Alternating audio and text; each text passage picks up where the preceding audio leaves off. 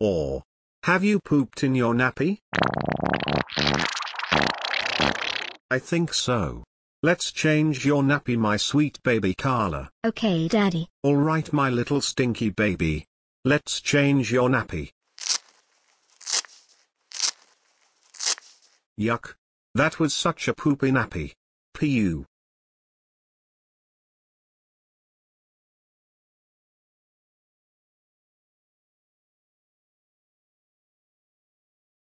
And now it's time for a clean nappy.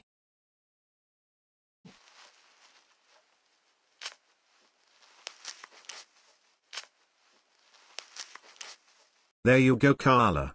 All clean and fresh in your sparkling new nappy. Thank you, Daddy. You're welcome.